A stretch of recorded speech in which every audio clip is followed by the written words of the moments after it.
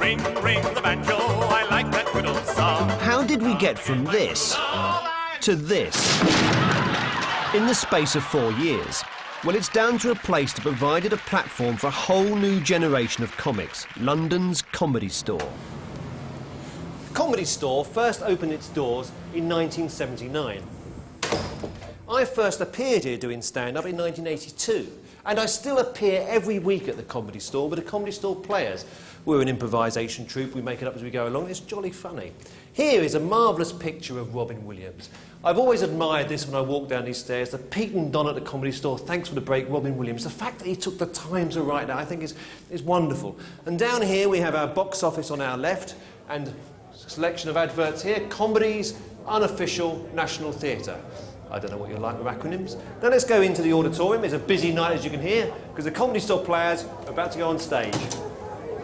So if we go through here, we see that busy, busy auditorium. There's a bar at the back over this way. Here's a man carrying two pints of beer. And if we follow this way, this is quite a good way to the stage. Normally the audience wouldn't come this way. As you can sense, there is a buzz, there is an ambience, there's a real thrill about what's happening this evening. Now I'll just take you to the front here and just say that if you can hence feel the atmosphere, feel the ambience there, feel the sense that, follow me now as we go into the Comedy Store players' dressing room and they're just going to be this way. So just let these gentlemen finish here, have enjoy your beer, and I'll just go in here and I'll show you exactly what's going to happen. They don't appear on television much these days, so um, let's have a look to see how they actually get ready before an impro gig. Well, as you can see, it's lots of fun. And up here we have the auditorium, the one we've just left, full of people. Let's go out there. Let me show you something no comic has ever experienced. And that's it. Silence. Because you either get big laughs here or you get people screaming at you. But here, just for this moment, we have silence. Savour it. You won't be hearing it again.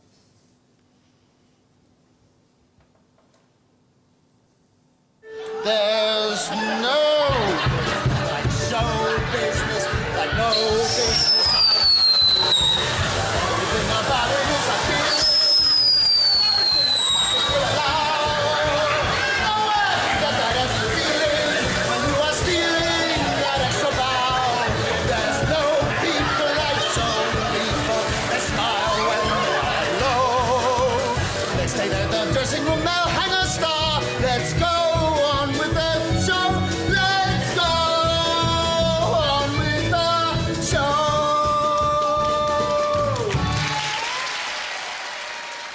We're in the of the comedy store. This is the third comedy store you, you, you, you've owned. Yes. Um, and this is the best, would you say?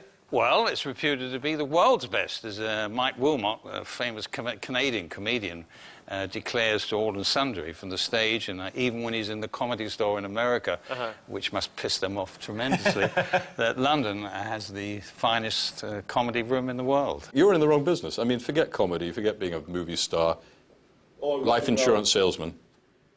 Our life insurance Women. salesman, the sexiest man in Women the will, world. women will st- stop at nothing to buy life insurance. So you had a nightclub owner and a life insurance salesman. Relatively harmless on their own, a bit like nitro and glycerine, but put the two together and you have a powerful combination. Powerful enough to set up a comedy club that's going to change the face of stand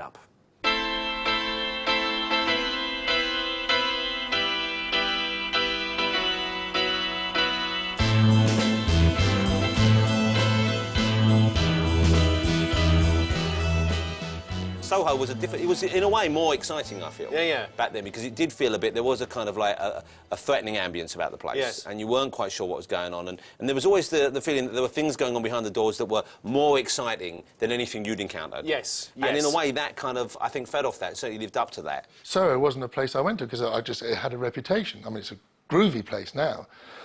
but I remember going down that little alley, Meard Street, and then there were literally women hanging out the windows. Hello, lovey, come inside, and all this sort of stuff. And there were sort of a couple of taxi firms there and uh, girls who seemed to be keen to encourage you to go in and, and sample uh, whatever was offered there. And then, then there was this strip club. As I owned the premises, uh, and I was the business side of the thing. Okay. I was the calculating one that used to have to pay the rent and all the rest of it. Peter was the uh, the excitement of it, of, of, our, of our partnership. And I said, wait a minute, we're not sure this idea will work. What we'll do is, I'll tell you what we'll do. We'll give it six weeks. We'll make a, a kitty here for 500 pounds each, and we'll spend that on advertising and signs and so forth, etc. And if it works, it works. If it doesn't, we've had some fun. And so that's, that's exactly how, how the store kicked off. Then I put this ad in Private Eye. And this is, a, this is really a historic ad because without that ad, there wouldn't be a comedy store. We wouldn't be sitting here 25. I'm quite convinced about that. Because the ad said I wanted frustrated dentists, accountants, wannabe comedians, a new West End comedy club. We thought we'd get 30, 40 answers. We got about 150. Uh, and the, the queue was right up the street uh, for the auditions. And the very first person we auditioned was Alexei Sayle. You know, people often say to me, Alexei, what is alternative new wave Marxist comedy? And I say, sod off, you nosy bastard. There's a guy standing there in a leather jacket, burly guy, stocky guy. He was about, looked in his mid 20s, I guess. And he looked a bit of a thug, actually. And he had, I think, a black leather jacket, pair of jeans, and he was chewing gum, I remember. Yeah. And he looked a bit menacing. In fact, he, he looked like. uh, He looked like he might have wanted to beat me up. I tried to strangle Peter Rosengard. He was just, you know, an extremely annoying individual. you, you would, you want to really. He launched into this uh, amazing monologue. I, I go into the cake shop. He went into a cake shop. That was it. I'm not going to try doing Lex's. I said, "Can I have one of them buns, love?" That sticky bun right there. That sticky bun. And you know what the woman said to me? She said, "What is a sticky bun?" You know, so we get into this, you know, philosophical discussion about the nature of existence. You know. Yes. And then it ends in a fight. She she jumps over the, the counter, comes at me, and I just twatted her with the cash register. What he had there, this intellectual thug character, was mm. absolutely brilliant. Now, can you imagine Peter and I are sitting there in an empty room, and the first guy to walk on is this is, is this is Alexei, Yeah. this Scouser. Actually, another way you can spot the middle class houses in Stoke Newington, um, they've always got them Suzuki Jeeps parked outside, you know. I think it's so important to have four wheel drive when you're going down to Sainsbury's. I'm actually very grateful to the Arts Council to help us cheer the place up, you know. Um, big khaki murals painted by colourblind Mexicans on acids. And they used to send round street theatre groups to frighten people. Like, I don't know if you know the theory behind street theatre, but it is if you've got a white face, a red nose, and baggy trousers, you're going to be funny. Didn't work for Mussolini, did it? So you got very lucky. Very lucky. I mean, I, I looked up the First scene and man said, that walks in. Thank you, comedy god. We've now found our host. The very opening night was a bit of a sort of farce, really, because it was, a, it was an opening night, so I thought we'd better invite every journalist in, in London to come along and ply them with lots of drink. Last Saturday night, I climbed the stairs of the Nell Gwynn strip club in Soho and just spent the most bizarre three hours you could possibly imagine.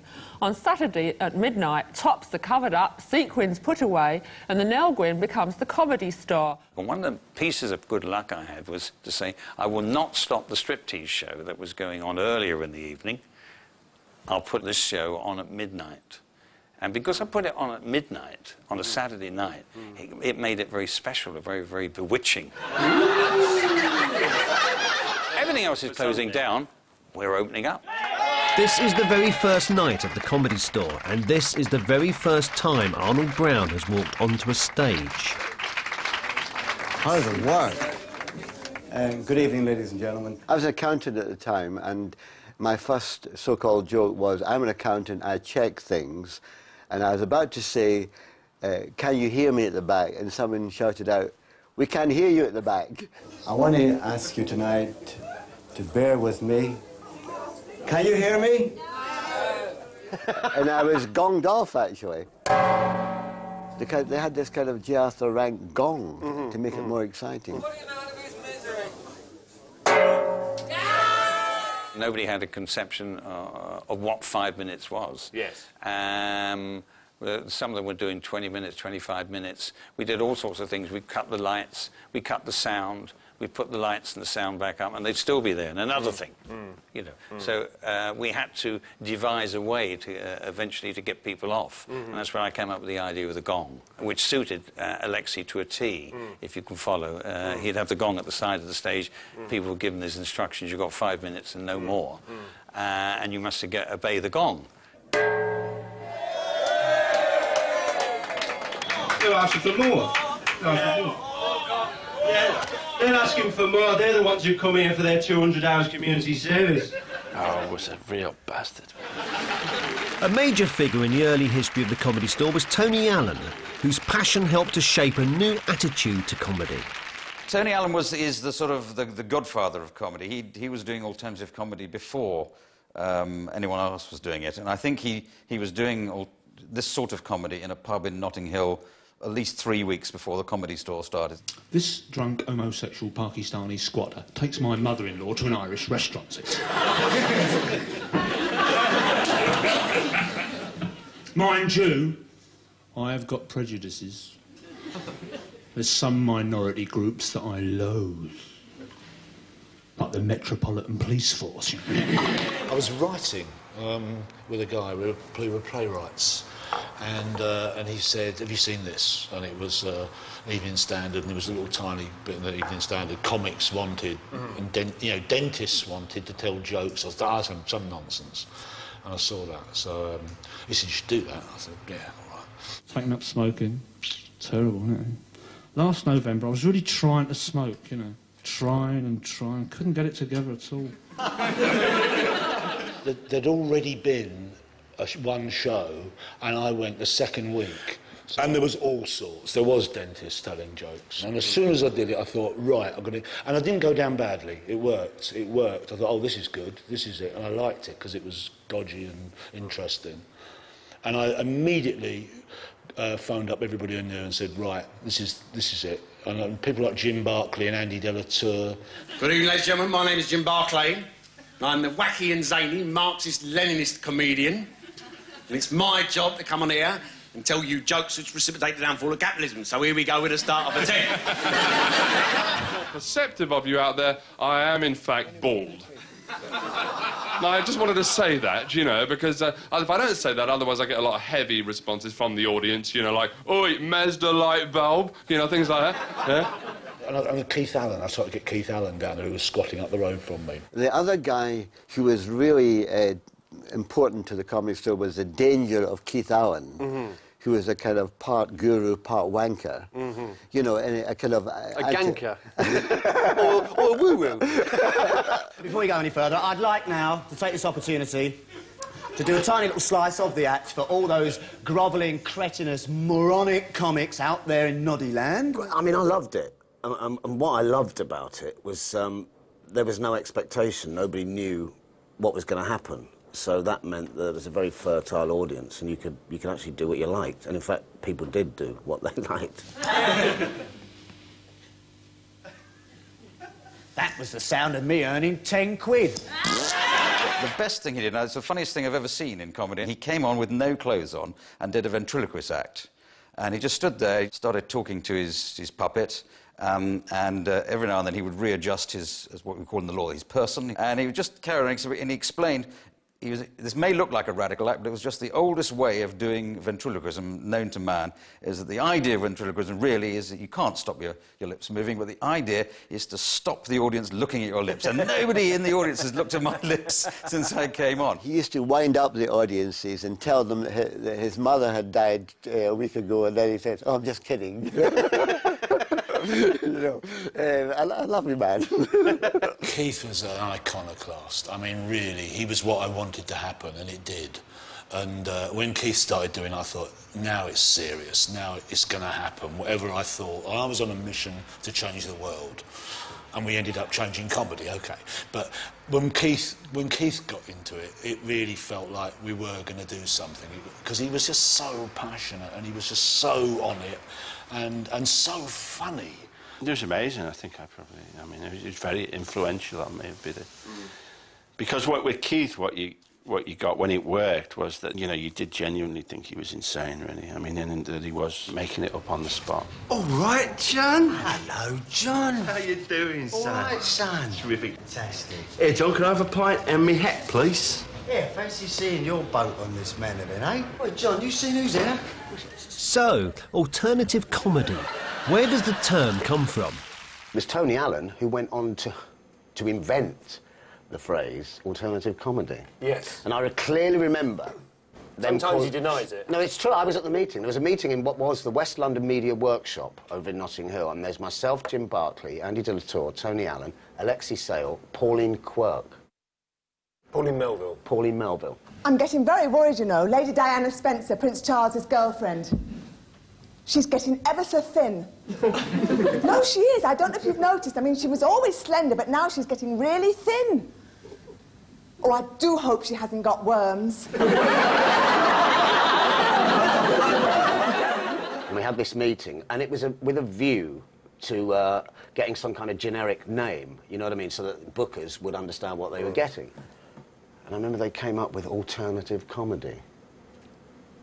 I said, what? An alternative comedy. I said, are you fucking mad? they said, what do you mean? I said, why and why do I want to be an alternative to anything?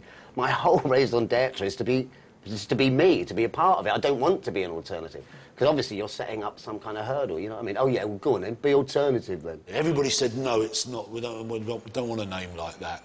So I thought, oh, all right, I'll have it. And then I started calling myself an alternative comedian. Tony Allen was fantastic. He was sort of, sort of like a mentor because he was. Um, I mean, he's always called the godfather of uh, alternative alternative comedy. But he would he would say he'd say, "Well done, lads. That was great. It's nice to see a double act." Can you do levitation? No, no, no. Can you do um, hypnotism?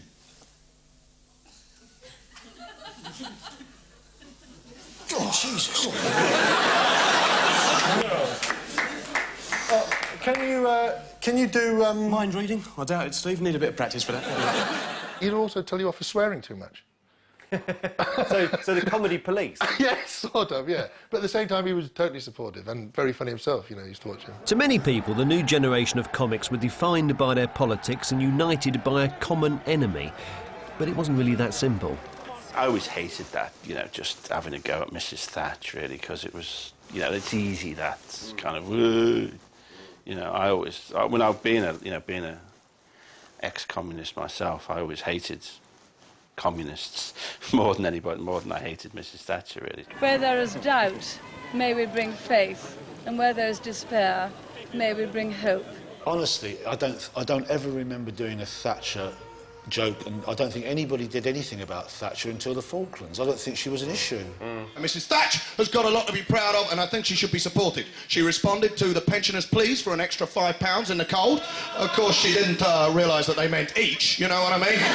What was once called alternative comedy is now often called political correctness. So, is political correctness a good or a bad thing? It annoys me when people say, oh, we're all too politically correct. I mean, it's just rude and clearly jokes can carry uh, a political message, clearly. Uh, and if you're doing jokes about killing Jews or something, then in some way you're pandering to an audience, if they're laughing, who are up for that kind of thing. I mean, jokes do bear a political load often. I and to certainly never- pretend that they don't is stupid. People know uh, when I tell a gag about anything at all that there's no malice in it. None at all. What do you want? Fish and shit! I'll have the fish, you keep the ship, me old pal. You slug-eyed, yellow-faced bastard. There's no malice in it. None at all.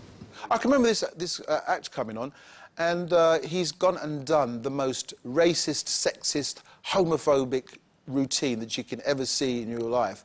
And he's totally stormed the room, you know, and he, he's got like his minder with him, and he had like a dinner jacket on, bow tie, of the lot. And I can remember him going past, there, there used to be this little sort of uh, gallery area you could sit. I can remember him going past, and he sort of like winked at us, the so-called uh, alternative comics, and he goes, that's comedy. But Rik, Rik Mayall, Ade Edmondson came down to the store. When would that fit in, roughly, do you think? Damn it, I, I, always, I always remember them being there. Tell the gooseberry joke. What, what's a gooseberry joke? What's green and hairy and goes up and down? What? A gooseberry in a lift. It kills them. Good evening, ladies and gentlemen. I'd like to tell the gooseberry joke. What? What? How does a gooseberry get into a lift? Beg your pardon? I said, how does a gooseberry get into a lift? How the plop do I know? it just seems a bit improbable. Well, maybe somebody brought it into the lift. How the hell do I? Didn't say. Do I have to say everything? Rik uh, actually took the piss out of all of us. And I didn't quite realise it at first, but Rik the poet was actually taking the piss out of all, uh, certainly of my excesses as a sort of politico. And, and, and everybody else's, really. Do I love you, Vanessa? Vanessa? Vanessa? Vanessa, do you love me? Vanessa, you've made a mess of my life, Vanessa. Shut up!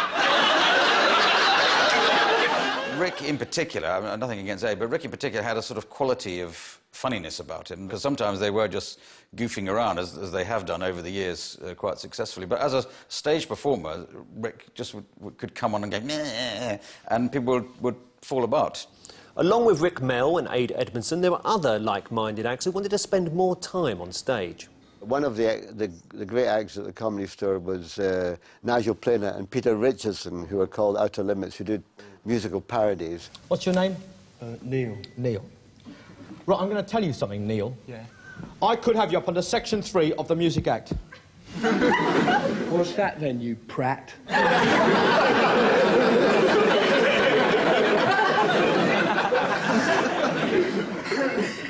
How do you know my name? Peter Richardson was a kind of theatre guy, and uh, he wanted to do a show rather than just this uh, democratic, anyone can enter uh, comedy store.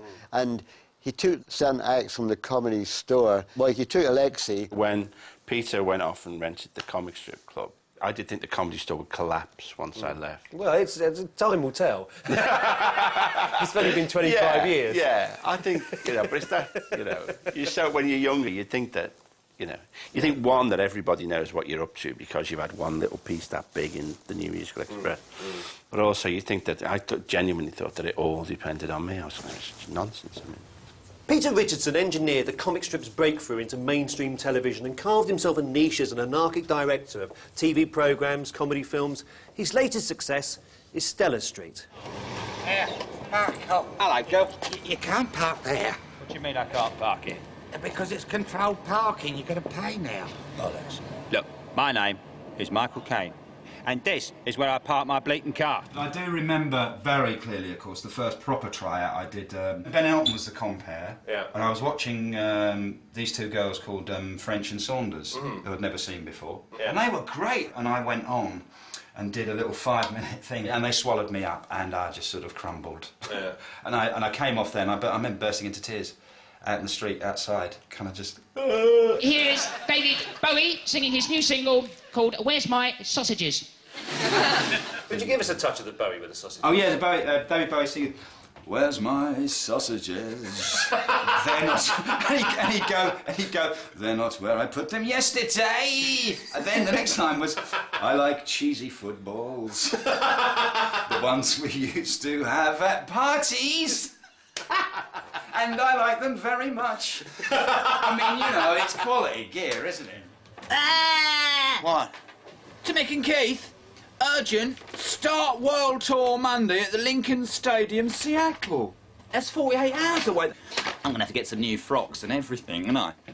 That first recollection of you uh, on the stage is wearing pyjamas. Pyjamas As came Paul fairly... Martin. Yeah, Paul Martin was my real name. Uh, And you did this wonderful, wonderful act of the copper in court. Policeman on Acid. Yeah. On Wednesday, Beautiful. 14th of October last at approximately 10.43 a.m. While pack rolling along Streatham High Road, I observed a motor vehicle illegally parked outside the all-night Clement Attlee massage parlour. uh, then he goes on to, I questioned the occupant, a Mr Jackie Stewart, who said, urinate off, you effing love child.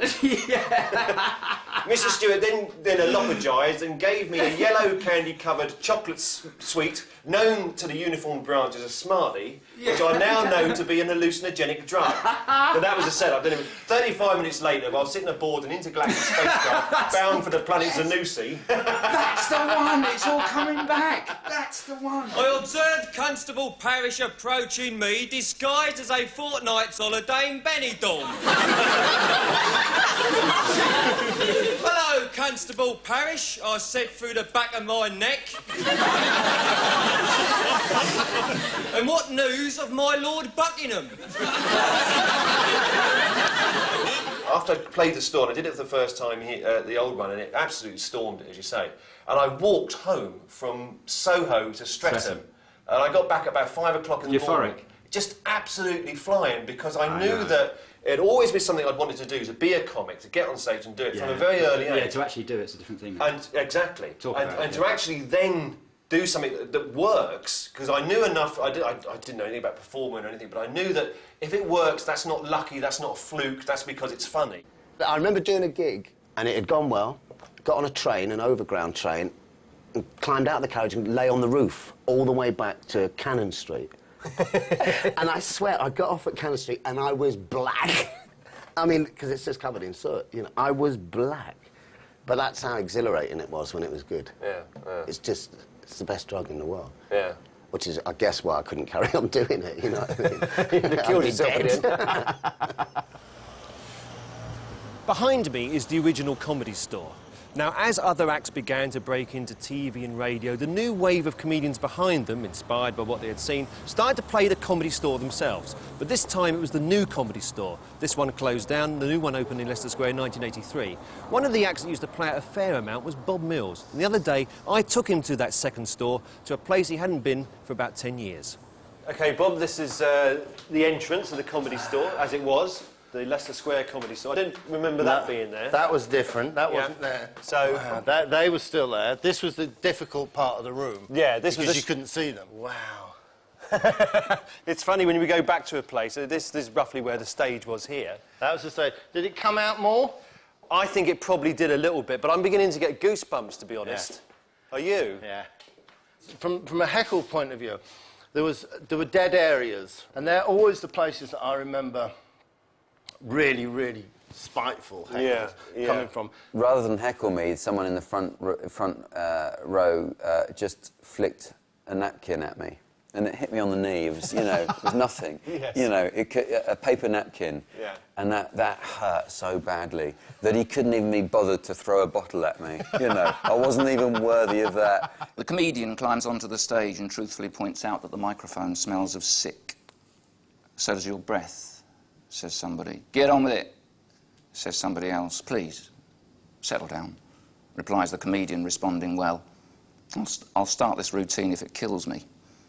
There is an outbreak of cheering at the mention of his death. Get off, says the one who said get on with it. And the comedian comes up with a line so apt and incisive that any further heckling is redundant. Unfortunately, he comes up with it on the bus home.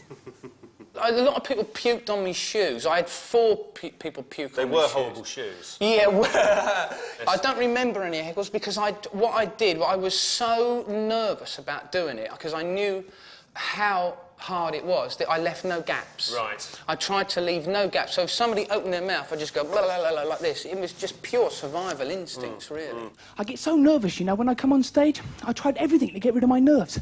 I tried drinking, but drinking is bad for your body. It's true because it makes you do things you wouldn't normally do and say things you wouldn't normally say. So I'd walk on stage after a couple of pints and I'd go, hey, feel so massive, uh, and then walk off. because it was quite a scary place to play. I, my act had somehow evolved so that I used to sort of attack the audience before they um, even heckled. You know, I used to do my put downs first. Things like men like you don't grow on trees, they usually swing from them. And um, who does your hair? Is it the council? I should have reserved them for when I was heckled, but I, I, I just didn't really. Used to dive straight in with some poor man in the front. Oh, good lord, you're very close, aren't you? In a particularly unpleasant shirt that you didn't manage to iron. this man, uh, this man dyes his roots black, look. so, what was your name? No, that's enough about you, John. I want you to shut up now and act like a man. Or don't you do impressions? Um,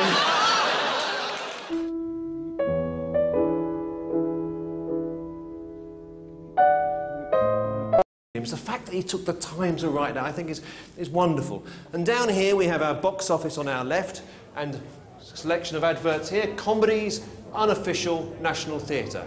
I don't know what you like with acronyms. Now let's go into the auditorium. It's a busy night, as you can hear, because the Comedy Store players are about to go on stage. So if we go through here, we see that busy, busy auditorium. There's a bar at the back over this way. Here's a man carrying two pints of beer. And if we follow this way, this is quite a good way to the stage. Normally the audience wouldn't come this way. As you can sense, there is a buzz there is an ambience, there's a real thrill about what's happening this evening. Now, I'll just take you to the front here and just say that if you can hence feel the atmosphere, feel the ambience feel the sense that, follow me now as we go into the Comedy Store Players dressing room. And they're just going to be this way, so just like these gentlemen finish here, have enjoy your beer, and I'll just go in here and I'll show you exactly what's going to happen. They don't appear on television much these days, so um, let's have a look to see how they actually get ready before an impro gig. Well, as you can see, it's lots of fun. And up here we have the auditorium, the one we've just left, full of people. Let's go out there, let me show you something no comic has ever experienced. And that's it. Silence. Because you either get big laughs here, Don't you wipe your eye. Ring, ring the banjo. I like that good old song. How did we get from this to this in the space of four years? Well, it's down to a place that provided a platform for a whole new generation of comics London's Comedy Store. Comedy Store first opened its doors in 1979. I first appeared here doing stand up in 1982, and I still appear every week at the Comedy Store with the Comedy Store Players. We're an improvisation troupe, we make it up as we go along, it's jolly funny. Here is a marvellous picture of Robin Williams. I've always admired this when I walk down these stairs. The Pete and Don at the Comedy Store. Thanks for the break, Robin Williams. Now hang a star. Let's go on with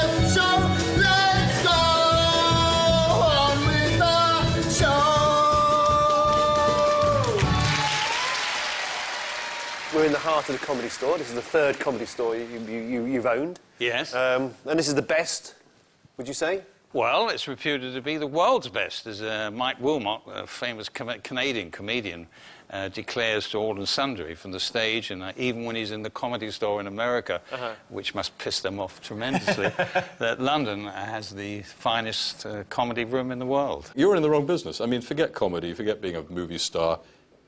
Or you get people screaming at you.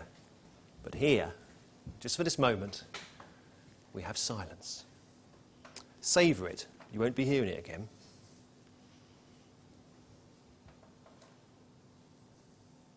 There's no